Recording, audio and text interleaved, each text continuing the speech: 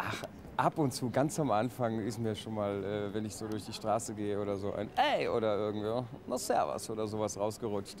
Irgendwie so etwas Wiener Dialekt, aber nee, so nicht wirklich. Also es ist ja schon, wenn man länger im, im Musiktheater arbeitet, man lernt dann auch zu trennen. Ich meine, ein bisschen färbt eine Figur immer ab, aber man lernt auch damit umzugehen, dass man jetzt nicht rausgeht und, und so den ganzen Tag so durch die Stadt läuft und sagt, na bitte, was wolltet ihr alle von mir? Jetzt habe ich nachgesagt.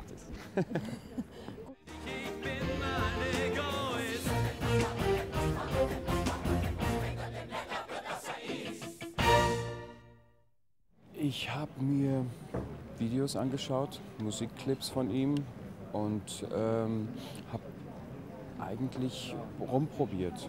So über die so ein paar, ein paar Gefühle so in den Songs so ein bisschen das, das, das Schönbrunner, das so ein bisschen die Nase hoch und so das von oben dann über, über solche äh, Gefühle bin ich auch so ein bisschen in die Figur reingekommen und habe äh, auch mit äh, unserer Choreografin Kim Daddy, die ihn kannte, die auch mit ihm gearbeitet hat, sie hat mir auch gesagt, guck mal da und so, hier den Arm und die Schulter ein bisschen und so. Wer hält den Tanz für uns